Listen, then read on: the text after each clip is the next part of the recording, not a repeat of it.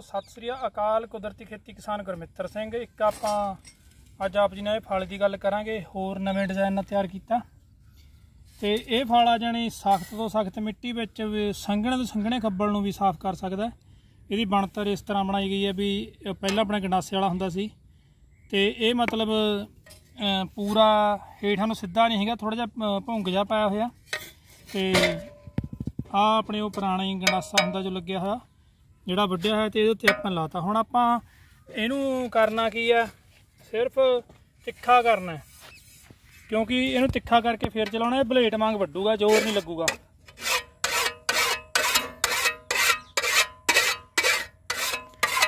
ਆ ਲੋ ਤਿੱਖੀ ਹੋ ਗਈ। ਇਧਰੋਂ ਪੂਰੀ ਆ ਬਲੇਡ ਵਾਂਗ ਤੇ ਬਣ ਗਈ ਸ਼ੇਪ ਇਹਦੀ।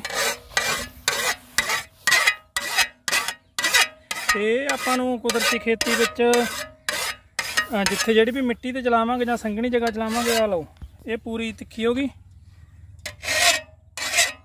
ਤੇ ਆਹ ਜਗ੍ਹਾ ਵੀ ਐਨ ਸਾਫ਼ ਹੋ ਗਈ। ਹੁਣ ਆਪਾਂ ਇਹਦੇ ਨਾਲ ਆਹ ਜਿਹੜਾ ਜਿੱਕਣ ਸਾਰੇ ਕਿਸਾਨ ਵੀਰ ਜਾਣਦੇ ਨੇ, ਜਿਹੜੇ ਰਾਹਾਂ ਦੀ ਮਿੱਟੀ ਹੁੰਦੀ ਆ, ਆਪਣੇ ਕੱਚੇ ਰਾਹਾਂ ਦੀ ਟਰੈਕਟਰ ਲੰਘਦੇ ਨੇ ਜਾਂ ਉੱਥੇ ਬਹਾਈ ਨਹੀਂ ਹੁੰਦੀ, ਉਹ ਸਖਤ ਹੋ ਜਾਂਦੀ ਆ। ਆਪਣਾ ਖੇਤ ਬਹੁਤ ਜ਼ਿਆਦਾ ਪੋਲਾ ਹੈ, ਇਸ ਲਈ ਆਪਾਂ ਆਪਣੇ ਖੇਤ 'ਚ ਨਹੀਂ ਦਿਖਾ ਰਹੇ। ਉਹ ਥੋੜੀ ਜਿਹੀ ਨੇੜੇ ਆ ਕੇ ਜਿਹੜੀ ਆਹ ਆ ਤੁਸੀਂ ਖੱਬਲ ਦੇਖੋ ਕਿੰਨਾ ਸੰਘਣਾ ਤੇ ਇਹ ਖੱਬਲ ਨੂੰ ਆਪਾਂ ਬੜੇ ਆਰਾਮ ਨਾਲ ਸਾਫ਼ ਕਰ ਸਕਦੇ ਹਾਂ।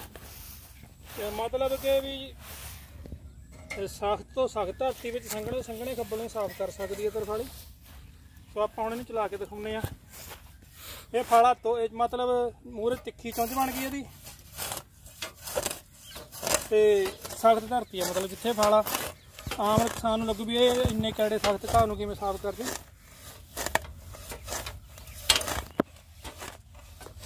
ਤੇ ਮਤਲਬ ਫਾਲਾ ਫਸ ਰਿਹਾ, ਹੁਣ ਇਹਨੂੰ ਪ੍ਰੋਬਲਮ ਨਹੀਂ ਆ ਰਹੀ। ਆ ਲਓ, ਹੁਣ ਆਪਾਂ ਨੇ ਵਾਢਾ ਦੇ ਲਿਆ। ਹੁਣ ਦੇ ਨੇੜੇ ਰੱਖ ਕੇ ਆਪਾਂ ਇਸ ਤਰ੍ਹਾਂ ਜਦੋਂ ਆਪਣੇ ਖੇਤਾਂ 'ਚ ਬਹੁਤ ਸੰਘਣਾ ਘਾਹ ਵੀ ਹੋਵੇ, ਤਾਂ ਵੀ ਇਹ ਉਹ ਜਗ੍ਹਾ ਨੂੰ ਚੰਗੀ ਤਰ੍ਹਾਂ ਸਾਫ਼ ਕਰ ਸਕਦਾ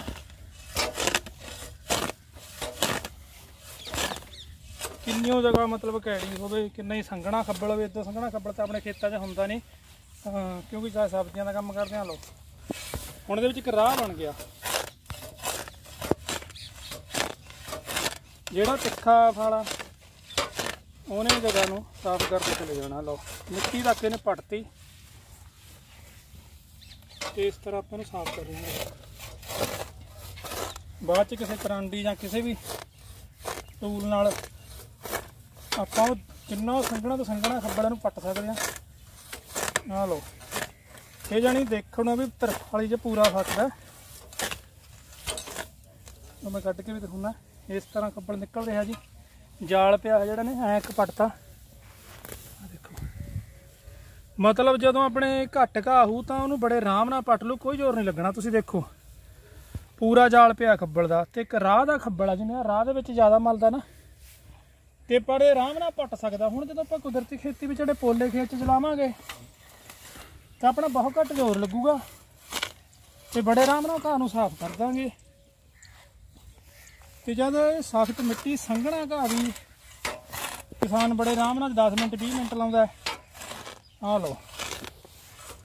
ਮੇਰੇ ਤਾਂ ਵੈਸੇ ਜ਼ਿਆਦਾ ਪ੍ਰੈਕਟਿਸ ਕਰਕੇ ਮੈਨੂੰ ਤਾਂ ਫ਼ਰਕ ਲੱਗਦਾ ਨਹੀਂ ਵੀ ਕਿੰਨਾ ਕੁ ਜ਼ੋਰ ਲੱਗਣਾ ਜਾਂ ਕੀ ਨਹੀਂ। ਆ ਲਓ। ਤੇ ਇਸ ਤਰ੍ਹਾਂ ਆਪਾਂ ਸੰਘਣੇ ਘਾਹ ਨੂੰ 20 ਬਲੇਟ ਵਾਂਗ ਵੱਢਾਂਗੇ, ਕਿਉਂਕਿ ਆਪਣੇ ਜਿਹੜੇ ਫਾਲੇ ਨੂੰ ਬਹੁਤ ਜ਼ਿਆਦਾ ਤਿੱਖਾ ਕੀਤਾ ਗਿਆ। ਇੱਕ ਜਗ੍ਹਾ ਦੀ ਐਸੀ ਆ ਵੀ ਜਿਵੇਂ ਬਲੇਟ ਹੁੰਦਾ। ਹੈ। ਤੇ ਜੇ ਆਪਾਂ ਨੂੰ ਕਹੀ ਨਾਲ ਸਾਫ਼ ਕਰਦੇ ਆ, ਤਾਂ ਬਹੁਤ ਜ਼ਿਆਦਾ ਜ਼ੋਰ ਲੱਗਣਾ। ਹਲੋ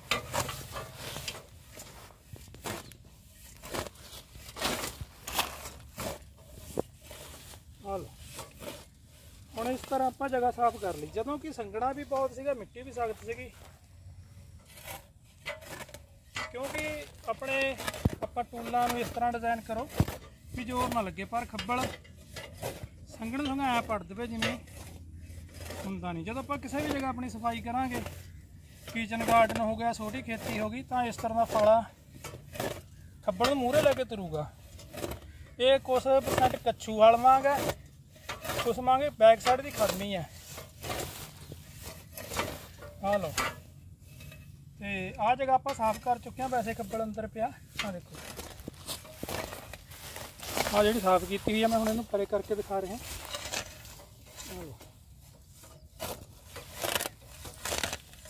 ਹੁਣ ਤੁਸੀਂ ਆਹ ਖੱਬਲ ਦੀ ਦੇਖੋ ਤੇ ਆਹ ਦੇਖੋ।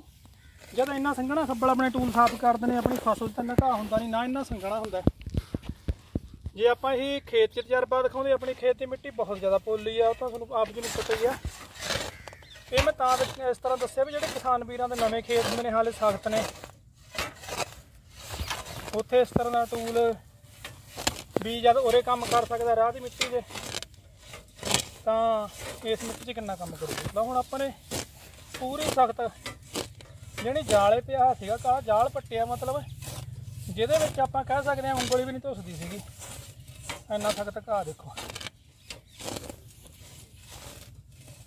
ਆ ਦੇਖੋ ਇਹ ਘਾਹ ਦਾ ਜਾਲ ਉਸ ਤਰ੍ਹਾਂ ਨਿਕਲਦਾ ਪੂਰਾ। ਤੇ ਖਾਸ ਗੱਲ ਹੈ ਮਿੱਟੀ ਨੂੰ ਡਿਸਟਰਬ ਨਹੀਂ ਕਰਦਾ ਆਪਣਾ ਇਹ ਟੂਲ। ਕੁਦਰਤੀ ਖੇਤੀ 'ਚ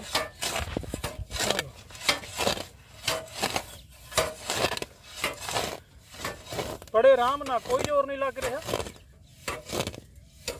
ਇਹ ਸਭ ਆਪਾਂ ਨੂੰ ਜਿੰਨੇ ਵੀ ਤੁਸੀਂ ਰੋਜ਼ ਨਵਾਂ ਟੂਲ ਸੋਚ ਸਕਦੇ ਹੋ ਕੁਦਰਤੀ ਖੇਤੀ 'ਚ ਇਹ ਜਿਹੜੀ ਸਾਈਡ ਹੈ ਆ ਜੋ ਇਹਦੀ ਬਣਤਰ ਹੈ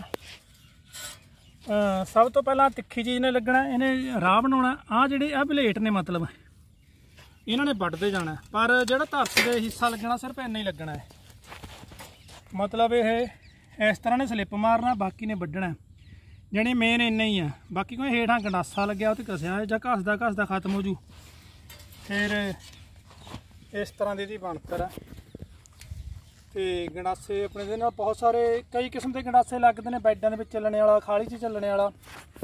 ਅੱਜ ਆਪਾਂ ਨੇ ਆਪ ਜੀ ਨੇ ਸਾਂਝਾ ਕੀਤਾ ਵੀ ਇਹ ਸੰਘਣੇ ਘਾਹ ਦੇ ਵਿੱਚ ਸਖਤ ਮਿੱਟੀ 'ਚ ਕਿਵੇਂ ਕੰਮ ਕਰ ਸਕਦਾ? ਜਿਵੇਂ ਸਾਰੇ ਜਾਣਦੇ ਨੇ ਵੀ ਇਹ ਰਾਹ ਦੀ ਮਿੱਟੀ ਸਖਤ ਹੁੰਦੀ ਆ। ਆਪਾਂ ਹੋਰ ਜਗ੍ਹਾ ਵਿੱਚ ਲਾ ਕੇ ਦੇਖਦੇ ਜਿੱਥੇ ਟਰੈਕਟਰ ਵੱਧ ਲੰਘਦੇ ਨੇ। ਆਹ ਮਿੱਟੀ ਤੇ ਆ ਜਾਂਦੇ ਆ ਹੁਣ ਉਹਦੇ ਪੂਰੇ ਟਰੈਕਟਰ ਲੰਘਦੇ ਨੇ। ਹਰ ਸਮੇਂ ਮਿੱਟੀ ਸਖਤ ਹੋਣੀ ਚਾਹੀਦੀ ਹੈ। ਪਰ ਇਹਦੇ ਲਈ ਕੋਈ ਪ੍ਰੋਬਲਮ ਨਹੀਂ ਹੈਗੀ। ਆ ਲਓ। ਆ ਦੇਖੋ, ਹੁਣ ਆਪਾਂ ਬੈਕ ਤੋਂ ਆਉਂਦੇ ਹਾਂ। ਇਸ ਤਰ੍ਹਾਂ ਹੁਣ ਆਹ ਜਿਹੜੀ ਸਖਤ ਮਿੱਟੀ ਆ, ਇਹ ਵੀ ਇਹਨੇ ਪਾਊਡਰ ਵਾਂਗ ਕੱਢ ਲਿਆਗਾ ਤੇ ਇਸ ਤਰ੍ਹਾਂ ਜਦੋਂ ਇਸ ਸਖਤ ਮਿੱਟੀ ਦੇ ਵੀ ਇਹਨੂੰ ਕੋਈ ਪ੍ਰੋਬਲਮ ਨਹੀਂ ਆ ਰਹੀ। ਜਦੋਂ ਕਿ ਆਪਾਂ ਕੋਈ ਵੀ ਤਰਫਾਲੀ ਕਹੀ ਜਾਂ ਤੇ ਚਲਾਉਣ ਦਾ ਬਹੁਤ ਜ਼ੋਰ ਲੱਗੂਗਾ। ਪਰ ਇਹ ਆਪਣੇ ਤਿੱਖਾ ਵੱਧ ਹੋਣ ਕਰਕੇ ਆਪਣਾ ਖੇਤਾਂ ਦੀ ਸੰਘਣੀ ਫਸਲ ਦੀ ਗੜਾਈ ਵਿੱਚ ਬੜੇ ਆਰਾਮ ਨਾਲ ਲੰਘ ਜੂ, ਆਪਾਂ ਨੂੰ ਫੜ ਕੇ ਤੁਰਨਾ ਮਗਰ।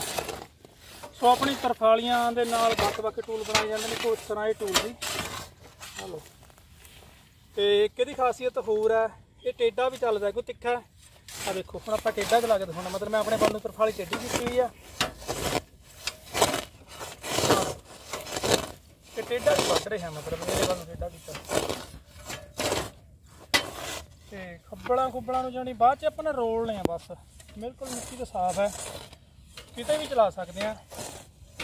ਸੋ ਐਸੇ ਆਪਣੇ ਘਰ ਦੀ ਛੋਟੀ ਜਿਹੀ ਇੱਕ ਤਰਫਾਲੀ ਹੈ, ਜੋ ਹੁੰਦੀ ਹੈ ਉਹ ਕਿਸਾਨ ਵੀਰ ਬਣਾ ਲੈਣ। ਚਾਹੇ ਕਿਚਨ ਗਾਰਡਨ ਚਾਹੇ ਲਸਣ ਪਿਆਜ਼ ਦੇ ਵਿੱਚ ਉਹ ਉਸ ਤਰ੍ਹਾਂ ਆਪਾਂ ਲਾ ਸਕਦੇ ਹਾਂ। ਹੁਣ ਗੱਲ ਇਹ ਆ ਵੀ ਜੇ ਆਪਾਂ ਨੇ ਬਰੀਕ ਕਢਾਈ ਕਰਨੀ ਆ ਤਾਂ ਆਪਾਂ ਇਹਨੂੰ ਇੰਨਾ ਕਿਲੋ ਵਧਾਵਾਂਗੇ। ਪਰ ਇਹ ਵੱਧਦਾ ਚਲੇ ਜਾਊਗਾ। ਜਦੋਂ ਤੁਸੀਂ ਇਹਨੂੰ ਜ਼ਿਆਦਾ ਦੱਬੋਗੇ ਤਾਂ ਜ਼ਿਆਦਾ ਜਾਊਗਾ। ਜਿਵੇਂ ਕਿ ਹੁਣ ਆਪਣੀ ਆਹ ਜਗ੍ਹਾ ਰਹਿ ਗਈ ਥੋੜੀ ਜੀ ਹਾਂ ਹੁਣ ਪੂਰਾ ਜਣੀ ਸਖਤ ਤੇ ਖਰਾਬ ਘਾਹ। ਇਹ ਆਪਾਂ ਸਾਫ਼ ਕਰ ਚੁੱਕੇ ਹਾਂ। ਸੋ ਇੱਕ ਇਹ ਆਪਣੇ ਤਰਫਾਲੀ ਹਰੇਕ ਕਿਸਾਨ ਵੀਰ ਕੋਲ ਹੁੰਦੀ ਆ, ਜੇ ਨਹੀਂ ਹੁੰਦੀ ਤਾਂ ਬਣਾ ਸਕਦੇ ਨੇ। ਇਸ ਤਰ੍ਹਾਂ ਦਾ ਫਾਲਾ ਡਿਜ਼ਾਈਨ ਕਰਨ, ਜਿਹਦਾ ਮਤਲਬ ਜਹਾਜ਼ ਵਾਂਗ ਬਣ ਜਵੇ। ਇਹ ਆ ਦੇਖੋ, ਹੁਣ ਆ ਸਾਰਾ ਖੱਬਲ ਸਾਫ਼ ਹੋ ਚੁੱਕਿਆ। ਤੇ ਜਦੋਂ ਆਪਾਂ ਇੱਕ ਸਖਤ ਮਿੱਟੀ ਤੇ ਰਾਹ ਦੀ ਮਿੱਟੀ ਨੂੰ ਸਾਫ਼ ਕਰ ਸਕਦੇ ਹਾਂ, ਤਾਂ ਆਪਣੇ ਖੇਤ ਦਾ ਆਮ ਨਾਲੋਂ ਪੋਲੇ ਹੀ ਹੁੰਦੇ ਨੇ। ਸੋ ਕਿਸਾਨ ਵੀਰੋ, ਇਸ ਟੂਲ ਤੋਂ ਆਪਾਂ ਇਸ ਤਰ੍ਹਾਂ ਕੰਮ ਲੈ ਕੇ ਆ ਦੇਖੋ।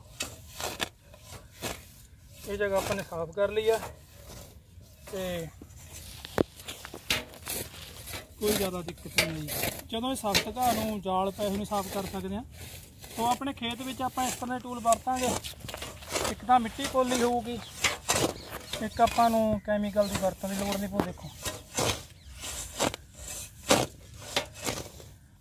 ਇਸ ਤਰ੍ਹਾਂ ਆਪਾਂ ਇਹ ਜਗ੍ਹਾ ਸਾਫ਼ ਕਰ ਲਈ ਹੈ ਹੁਣ ਜਿਵੇਂ ਕਿ ਆਪਾਂ ਗੱਲ ਕਰੀਏ ਵੀ ਆਹ ਇੱਕ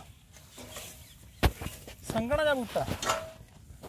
ਆਹ ਬੂਟਾ ਜੋ ਕਿਸਾਨ ਵੀਰੋ ਸੰਘਣਾ ਇਹਦੀ ਜੜ ਪ੍ਰਣਾਲੀ ਵੀ ਕਾਫੀ ਸਖਤ ਹੋਊਗੀ। ਆਪਾਂ ਇਹਨੂੰ ਵ- ਵੱਢ ਕੇ ਦੇਖਦੇ ਹਾਂ ਵੀ ਕਿੰਨੇ ਚਿਰ ਚ ਵੱਢੂ ਇਹ ਤਰਫਾਲੀ